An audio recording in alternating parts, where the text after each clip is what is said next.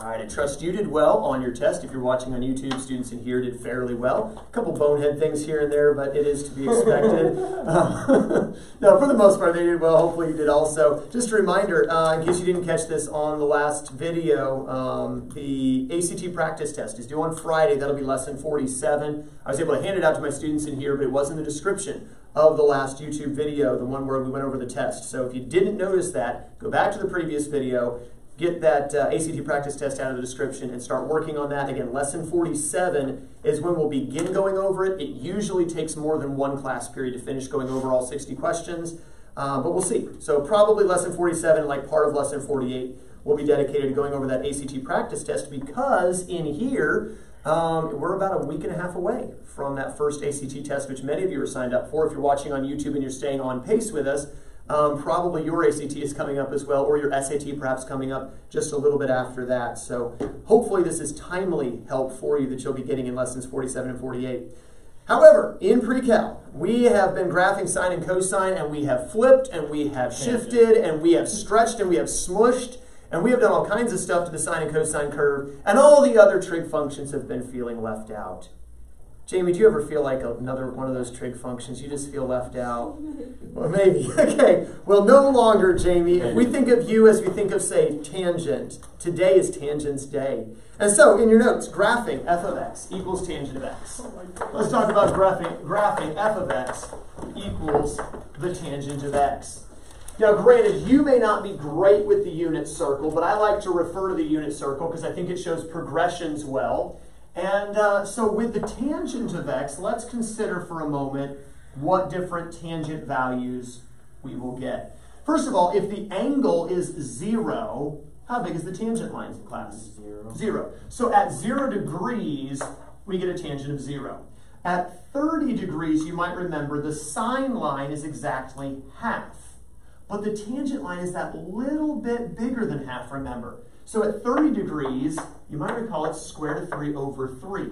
You don't actually have to have that exact number memorized. What I want you to remember is it's a little bigger than half. If you were to plug that into the calculator, it would be about 0.6. It would round up to a 0.6, which should be easy to remember considering half, 0.5, a little bit bigger, 0.6. If you were to go to exactly 45 degrees, which again is not a nice easy box on the, uh, on the graphing plane, right? Because every 30 degrees gets the next box. But if you were to do 45 degrees, the tangent line is going to equal the radius. In a 45, 45, 90, you get a nice easy 1. Well, since it's such an easy number, this is a commonly used graphing number for tangent because it's easier than, say, 0.6. If we were to extend further and go out to 60 degrees, you have a true 30, 60, 90 right triangle with sides of 1, 2, square root of 3. So at 60 degrees, you have the square root of 3, which is about 1.7. But at 90 degrees, the tangent class is undefined. Now, how in the world are we supposed to graph an undefined value? You can't. There's going to be a point at 90 degrees or at pi over 2 where you literally cannot graph it at all. And you might remember if you go back in your mind to rational functions back in Algebra 2, we talked about graphing some hyperbolas in which there were undefined values. Remember, denominator couldn't be 0? And we said, well, if the denominator is like x plus 3, then x can't be negative 3. So at negative 3, we put a little dotted line and the graph couldn't touch it. Do you remember what it was called? It's called an asymptote. Write this term in your notes. Asymptote. A-S-Y-M-P-T-O-T-E. That is a silent P. Why is it there? Just to make spelling errors happen. A-S-Y-M-P-T-O-T-E. That's the only purpose of silent letter. I guess. I don't know. Anyway, like in pneumonia, for instance. Um, Pneumonia starts with an N, doesn't it? it starts with a P. P-N-E-U-M-O-N. Or so like Nokia. So anyway, it's, it's, you know, or gnocchi, right? Gnocchi starts with a G, G-N-O-C-C-H-I. We have that at Olive Garden. I know, it's true. Um, Come on, I- chicken gnocchi soup, I like it. My wife found a knockoff recipe, and now we don't go to Olive Garden anymore. She makes it at home in the Instant Pot. Um, but anyway, it taste like it? It tastes very close. It's very close.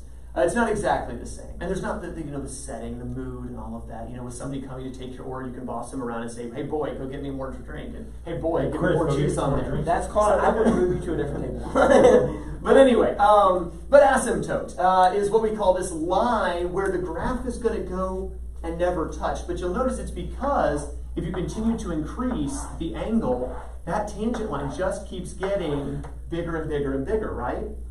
In turn, along with the secant line, but the tangent line keeps getting bigger and bigger and bigger. So it's essentially approaching infinity, is the idea.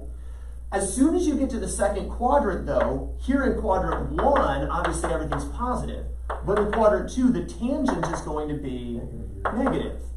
So now when I come to say a, um, a uh, my next angle would be 30 more degrees, would be 120 degrees. Now my tangent line is still that same square root of 3 from earlier, but it's now negative square root of 3. Or negative 1.7. Then you come back down to uh, the uh, 135 degrees, you got that same radius length, that 1 at 135 degrees. But again, it's negative 1 because it's in quadrant 2. You come another 30 degrees here, and now we're just a little bit bigger than half, but again, it's going to be negative at 150 degrees. We get that negative 0.6, or negative square root of 3 over 3. And you go all the way around to 180, and the tangent line goes back to 0. Now let's consider what happens in the third quadrant. In quadrant 3, the tangent's going to go back to being positive again. And so 180, of course, we left off with a 0. If we go 30 more degrees, now what's the tangent line? Square root of 3 over 0.6. Positive. Square root of 3 over 3 over 0.6. You go to the 45 degree, and it's going to equal the tangent line, right? Positive 1. 30 more degrees, and you've got positive square root of 3. You go 30 more degrees at the 270, and you're now undefined again. As soon as you go into the fourth quadrant, though, tangent goes back to being negative, and 30 more degrees gives you the negative 1.7. 45 degrees, negative 1, or 315 technically. 30 more degrees, or 15 more degrees at the, uh, what is that, the 330? Negative 0.6. And then back to 360, all the way around, you're back at 0. This reminds me of that graph we Do you see that quadrants three and four are literally the exact same values in order as zero to 180? That's what 180 to 360 is going to produce. What that means is the tangent finishes one complete cycle by the time you hit 180. You don't need a full 2 pi to finish tangent. So if you write this down for tangent, the period equals pi, not 2 pi.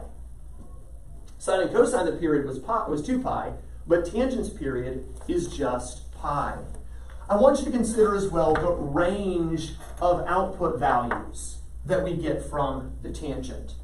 It starts at 0, and it goes all the way up to Three, six, four. Infinity. infinity. And in the next quadrant, it has 0 all the way down to negative infinity because it's in quadrant 2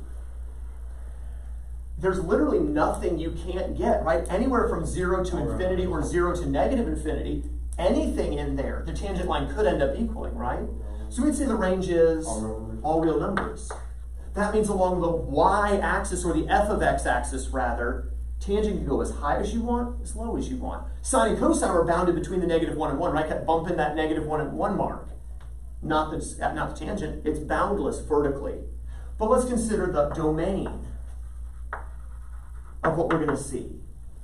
We're good from zero up to the 90, but at 90, you cannot graph it. That's a limitation, isn't it? You can't graph the tangent right at 90 degrees. Anywhere in quadrant two to quadrant three, you're good. But as soon as you hit 270, you're stuck, right? Now, in terms of radians, at pi over two, you can't graph it. Down here at 3 pi over 2, you can't graph it. Well, if you were to go another back around a second time, you'd have to add 2 pi. If you add 2 pi to this, you'd get 5 pi over 2. You can't graph it.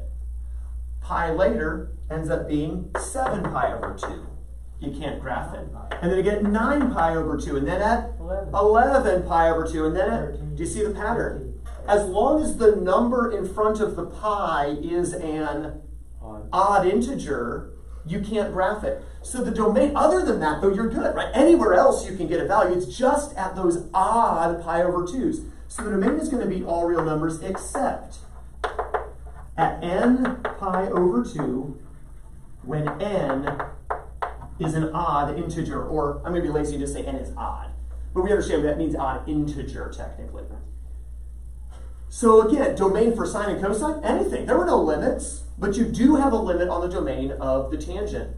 There was a limit on the range of sine and cosine, but no limit on the range of tangent. The period of sine and cosine was 2 pi. The period of tangent is pi. There's going to be an asymptote or asymptotes at the n pi over 2 when n is odd. On the graph, there were no asymptotes for sine and cosine. You get the idea. This graph is going to be really different from what we're used to with sine and cosine, which is good if you were getting bored with the sine and cosine curves. So let's go ahead and get some graph paper out. Let's actually graph what we've been talking about.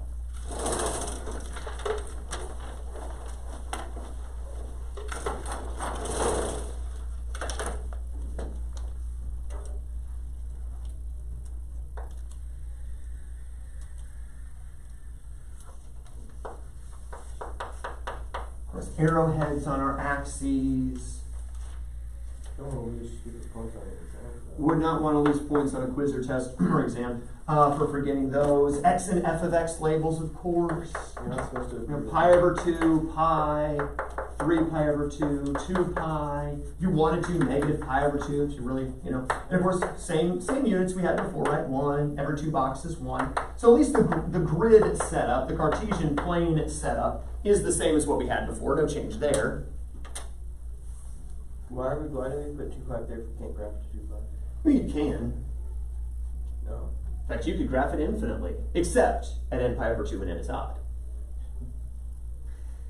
Let's go ahead and plot our points. Starting at 0 degrees, or rather 0 radians, our value is 0. At 30 degrees, or rather pi over 6, the value is 0.6. It's just a little above the 1 half. In fact, let me, let me zoom in a little bit here. The, uh, no, it's not much, but want to get it as soon as I can. Um, and then at 45 degrees, which is going to be right here, by the way, pi over 4, it's right at 1. Let's go ahead and plot that as well. I think that'll help us. Then at the 60 degrees, or the uh, pi over 3, the value is 1.7. There's going to be about halfway between the 1.5 and the 2. But at pi over 2, it's undefined. So we're going to put a dotted line. By the way, this is why we used a solid line for our f of x prime axis before, rather than a dotted line, because I didn't want it to appear that we had an asymptote. Oh, like I did on the exam? Yeah. Uh, so anyway, but let's not talk about the exam on YouTube, please. Um, I don't think that was uh, egregious, but let's keep exam comments to a minimum. All right, so when we graph this, we're starting here at zero, and we're curving upward, and we're approaching but not touching the asymptote. So quick refresher for you, okay? If the line goes like this and touches the asymptote, that you would lose points, okay? Um, also, if the line goes like this and you stop, at least you didn't touch the line, but you're pretty much going to crash, right? Okay? This is, this is a bad trajectory. Um, if the line runs parallel, well, it also doesn't do that. It constantly approaches the asymptote but never touches, you might recall. So that would also be wrong. Uh, so what we want to do is kind of hit this happy medium where it's definitely not going to be a crash landing. And once you get really close to the line, you're still approaching it. You're not parallel, right? You're approaching, but you're not touching it. Just stop. Okay? You don't have to graph all the way to the top of the grid. Just stop. And that gives the appearance or the impression of approaching but not touching the line. If you're ever really bored sometime, take a graphing calculator, type in the tangent of x into the graphing calculator, and then zoom in on the asymptote, and just keep, you'll basically look like it just keeps getting closer and closer. But every time you zoom in, it just blows it up again, and you see it getting closer and closer constantly. Never touches the asymptote. Let's come to the second quadrant, where after the undefined asymptote, the next box is at negative 1.7. So there's the half box later is the 1, then the full box later, the negative 0.6, and we're back to 0. When I graph this, by the way, I would start here at the 0 and curve down. No crashes, no touching, no parallel. So don't touch it, don't go parallel to it, but don't crash into it either, or crash, approach a crash landing. Okay, so nice and smooth in. And that's one full period of the tangent curve. Now, generally, for good measure, we'll replicate out to 2 pi just to you know make sine and cosine, you know, or make tangent not feel so bad. It only gets half as much publicity. We wouldn't want you know Jamie to get half as much airtime. So we'll replicate the entire first quadrant over the third quadrant. We already have the zero. Here's the 0.6, the 1, the 1.7, and then at 3 pi over 2, we said we're going to have another asymptote. Approach, don't touch, don't go parallel. That's close to going parallel. Also, a reminder, don't curve away from it. Okay? It doesn't go away, it doesn't go parallel, it doesn't crash, it doesn't touch, it approaches but doesn't touch. And we're going to replicate the entire second quadrant over here in the fourth quadrant.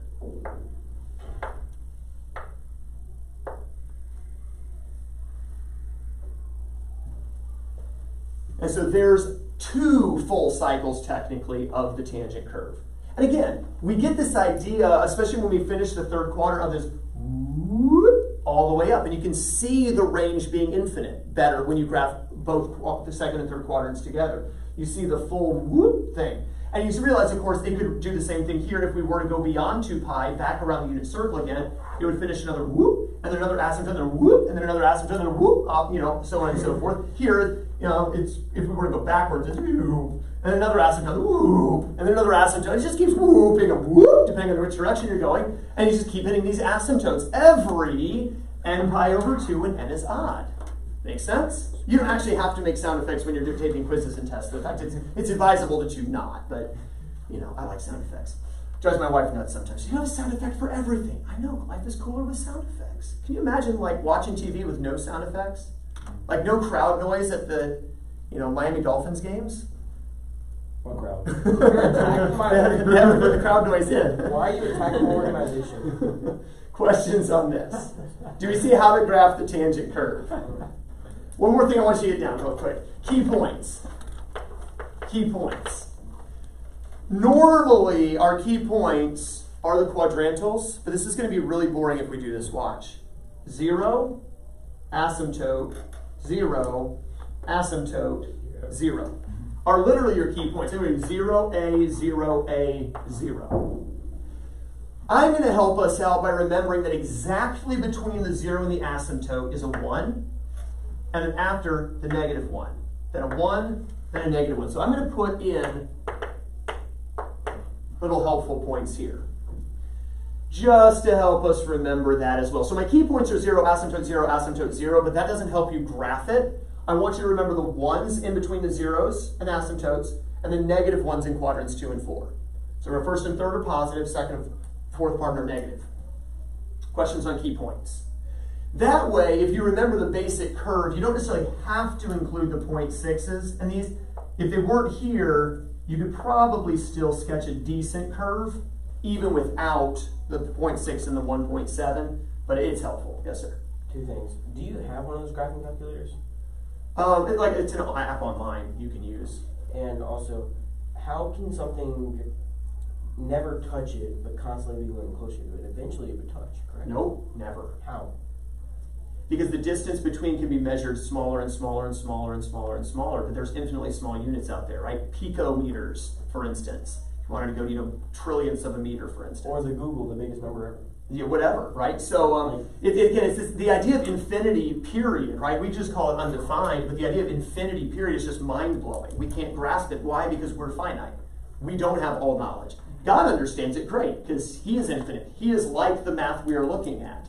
The math is a reflection of Him. We don't understand because we're not like Him yet. One day we'll be like So Him. quite literally, even say say you have an X, or I don't know a line, and then you literally cross it, it literally to the micro, micro, micro, micrometer. You can graph that. Like it will just continually get closer and closer. Like it will eventually hit. There's no way it doesn't hit. There, how is that, how is that possible that it will never touch? It's not. It is. There's always space between them. All right, let's go ahead and move on. Um, let's talk about the cotangent now. It's okay. You don't have to understand, just like with God and eternity, right? In heaven, we can't understand it all, but we don't have to understand the Trinity. That's a mind blowing one right there. But we don't have to understand. We take what Scripture says, what God says, and as I say, if I could understand everything about God, I would be God. But I don't understand everything about God because I am not God. If I understood everything math, I'd do math. Well, I am math. But anyway, uh, f of x equals the cotangent of x. Uh, now, here's the nice thing about this. The cotangent is simply the reciprocal of the tangent. That's not true of sine and cosine, right? They're not reciprocals. They're cofunctions, but not reciprocals. Tangent and cotangent are not only cofunctions, they are also reciprocals. So what we're going to do is take the reciprocal of all of these values. So instead of starting at 0 over 1, we would take the reciprocal, 1 over 0, which starts us at undefined.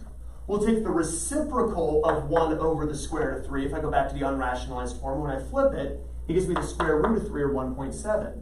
The reciprocal of 1 is 1. The reciprocal of the square root of 3 is 1 over the square root of 3, or square root of 3 over 3, or 0.6. And the reciprocal of undefined, 1 over 0, is 0. Everything just gets flipped. So um, if I were to graph this, I'm going to show the graph first actually. If I were to graph this, instead of a 0, I have undefined, which means I need an asymptote, where the tangent has a 0. Where the ta tangent has an asymptote, I need a 0. Where it has a 1, I share the 1, because the reciprocal of 1 is 1. But the 1.7 becomes the 0.6, and the 0.6 becomes the 1.7. So here, instead of going whoop this way, it's going that way. And then second quadrant's negative, right? But negative square root of 3 over 3 becomes the 0.6. This stays 1. This becomes the 1.7. This becomes another asymptote. And so, tangent, like that. And guess what it's going to do in quadrants 3 and 4? The same thing. Asymptote, 0, asymptote, keep the 1, keep the negative 1. Let's see if I can do this without the key points. Approach but don't touch. Approach but don't touch. And we see another ooh and we could just keep whooping over and over and over again that way and this way, by the way, going backward. We could continue doing it over and over. So let's analyze some things about the cotangent. First of all, what are its key points? Well, instead of zero asymptote, zero asymptote, zero, it's asymptote, zero, asymptote, zero, asymptote. The zeros and asymptotes trade places because they're reciprocals. But the ones and the negative ones their reciprocals are themselves, so we keep the ones and negative ones.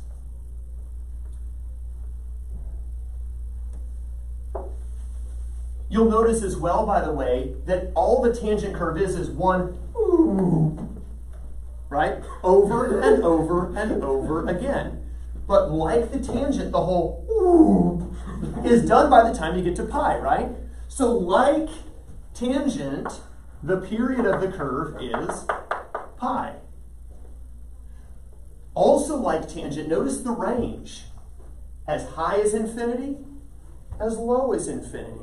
So the range is all real numbers. But what about the domain? This is where it's going to change just a little bit. I'm not sure why I had a colon there. Instead of even instead of odd. Exactly. Now, here we go. We've got our asymptotes at 0, pi, 2 pi, 3 pi, negative pi. And some students will be like, well, that's whole number pi's. And you'd be right, integer pies. But to keep the same format, you could call this 0 pi over 2. You could call pi 2 pi over 2.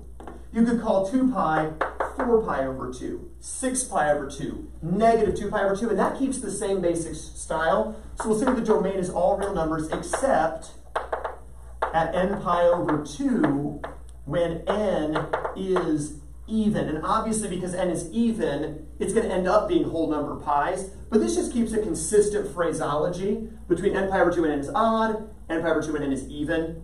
Okay, so just remembering that. But otherwise, very similar. Same range, Same period. The domain just changes the location of the asymptotes from odd n pi over 2 to even n pi over 2. And key points, we change out the asymptotes and the zeros. Very easy to graph both of them. Go ahead and graph on the same graph grid where you already did the tangent. Maybe change to a different color of ink, or change to a pen, or change to a pencil, or maybe whatever. But uh, go ahead and graph the cotangent curve on top of the existing sine curve. It also looks kind of like, like a DNA strand if you have both of them going at the same time. But anyway, go ahead and graph the cotangent curve.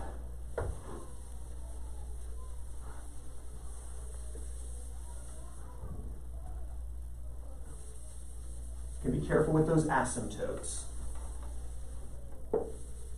That will be a point of pickiness when I grade. Again, since we cannot, you know, since we're human, our ability to make sure it approaches but never touches is limited enough that as soon as you get really close, so just stop. Because you are too human to be able to make it actually work.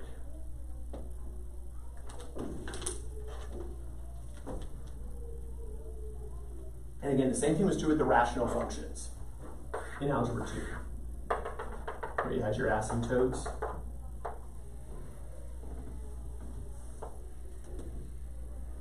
Can we remember this now? The hyperbolic asymptotes. What was this fourth quarter? This was right at the end of first quarter. So then one of the last, or fourth, third quarter, excuse me, one of the last things we would have talked about. I think it was one that I did on the sideboard downstairs. Yeah. You should all the graphs on the sideboard. That's true. That's true, because it was a graphic concept, yeah. Well, anyway, whatever. That's what I like. but you're right.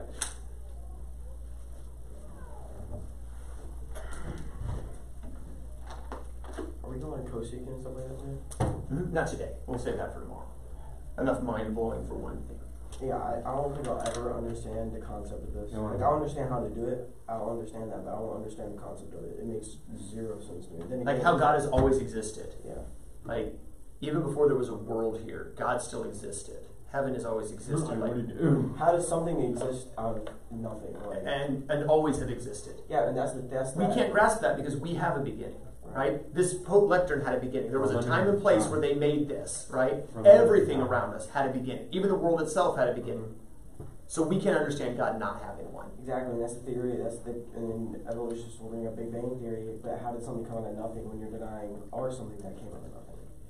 And then again, the idea of eternity, right? Like forever in heaven, like forever, like When I think about it, it makes me Yeah. get like butterflies in my stomach. I'm like forever. it's too- it's- you can't you can't We're limited you can't time. think Yes. of forever. Like it, your body and your mind can't fathom forever. All right, questions on the t- cotangent. Now, I do want to mention this as well, then, as I move on. Um, the tangent and cotangent curve, whoops, whatever you want to call them, um, they can also be shifted up and down. Oh my goodness. They can be shifted side to side. They could be stretched or smushed. They could be flipped. All those things we saw before for the sine and cosine are fair game now. So a quick refresher. If we had, say, f of x is equal to positive negative b, positive negative a, tangent b times x minus plus h. I hate it here. We can have vertical shift, we can have inversion, we can have an amplitude change, we can have a period change, but the period would be pi over b, not 2 pi over b, because it's tangent, whose period is traditionally pi, not 2 pi. And we could shift negatively forward, positively backward, horizontally. All those things can happen to the tangent and to the cotangent. So let's take a look at uh, a couple of these changes here. Why do you look so happy? Why is everything funny to you? I always am happy inflicting torture, Conrad. All right. so write this equate this function down if you would, and get out a new uh, graph grid ready to go. Um, f of x equals 2 minus the tangent of x. f of x equals 2 minus the tangent of x.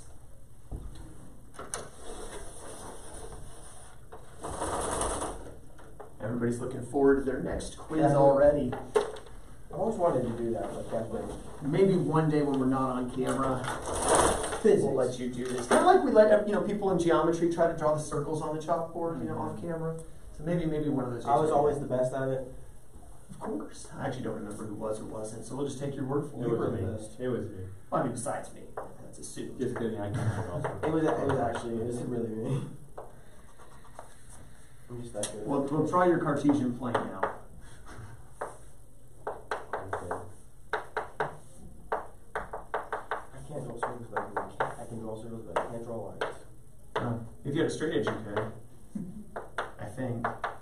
No, I don't think you could. I, I used to not be able to do it because of my pencil would slip out of the straight edge. I don't know how to hold that straight edge. All right, so there's two chances.